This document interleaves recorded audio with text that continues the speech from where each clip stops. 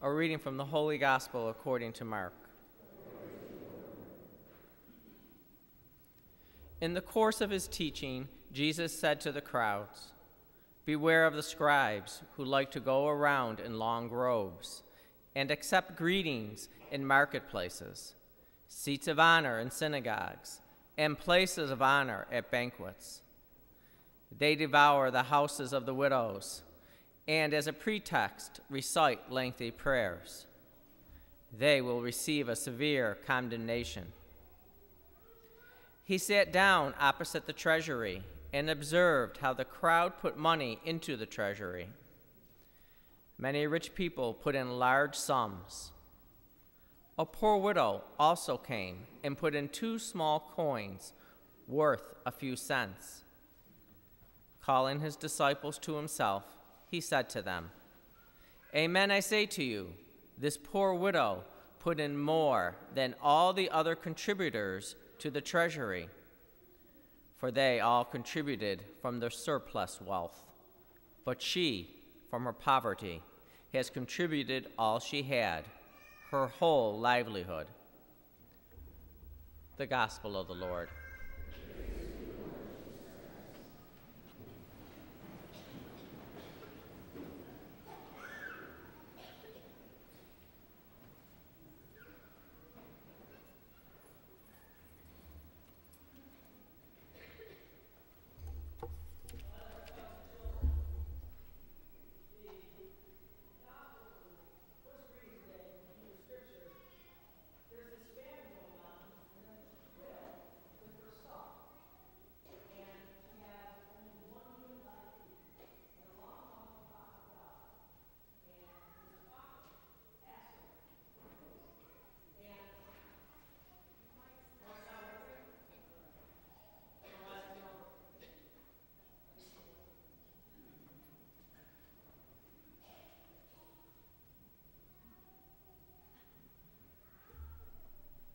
Can you hear me now?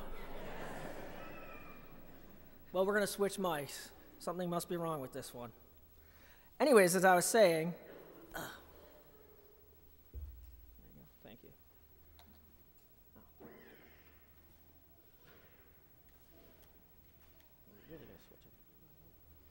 Well, I'll carry on because we've got to get to a football game.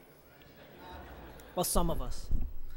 So, the prophet comes to the widow and asks for that jar, that last meal.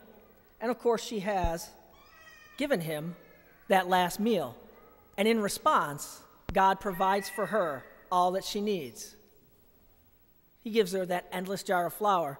And as I was telling the kids, if some of you heard it, I would have preferred it just be an endless jar of chocolate chip cookies. But God provides what we need, not always what we want. Can you hear me now? Are we working? Yes? No? Still not working. None of these mics are working today. Daniel, what's up with that? Okay, well, we'll do it from here then. So essentially, we have these two widows. And it's interesting because in our society, we take care of people. You know, we have survivors' benefits for Social Security, we have pensions that also go to widows and widowers, and of course, we have life insurance policies that people can buy. But in Jesus' time, and in the time of the ancient Hebrews in their scriptures, there was no benefits. A widow was left all to herself. She had no one to take care of her. And then in that first reading, we, she also has a son. And of course, in the time of Jesus, children were not always well taken care of. They were more of a burden until they could generate a profit. And then when they could work, they were considered an asset. So here we have these widows, two widows, and neither of them really can provide for themselves. And yet, they give from their need. And that's important to understand that somehow they trust God. Before they give, they trust God. And then they give. And what happens? God rewards them.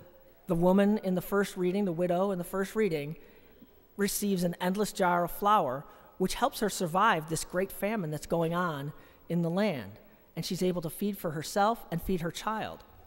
And of course, we have the widow in the gospel where Jesus looks upon her and gives her a blessing, in a sense, that she has given not from her excess, but from her very need. And then we have the scribes. And I think the best way to talk about the scribes is to tell you that they're kind of like a modern day lawyer. Because in the time of Jesus and the, the Hebrews, Moses' law was what ruled, and they understood the Mosaic law. And so all contracts had to conform with that law. And so they were responsible for making sure all these contracts and various things were written correctly. And that's how they made their money. But as Jesus says in the gospel, they overcharge people and they have lots of wealth and they expect to receive all these acolytes. You know, they walk down the street and they just want people to give them all of their acolytes. They want them to tell them how great they are and hear how wonderful they are. They want to stand and everyone hear them pray, wear the best robes, the best dressed. And yet, they do it not because they love God and want to give back, but because they want people to see it. And that's the difference between the widow and the scribes, isn't it? The widow, she walks in unseen, unnoticed, and really uncared for, and yet gives. And the scribes, they want everyone to see. Now, last week, if it hadn't been All Saints Week, we would have heard Jesus give the scribes a compliment. He would have paid a scribe a great compliment. He comes up to him and he says, Teacher, what must I do to find salvation? And they go through this dialogue, and at the end, Jesus says, You are not far from the kingdom of God. And yet, in the very next passage, he's criticizing these very scribes because they are making it difficult for the people to understand and follow God. And Jesus wants to make it simple. He's always trying to make things simple for us.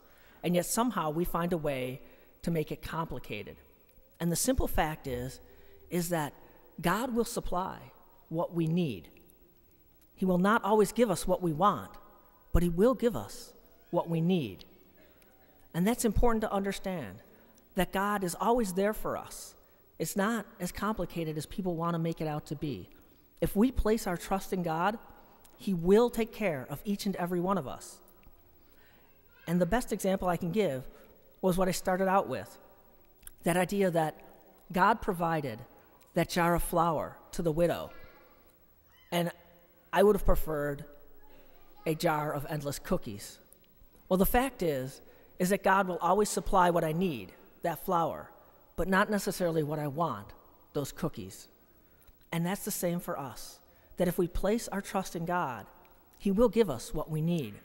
And so, as we come before the Eucharist and celebrate and receive the Eucharist, let us take a moment to just ask ourselves what can we give of ourselves? What can we give of ourselves that will help us grow in our relationship to God and serve His people?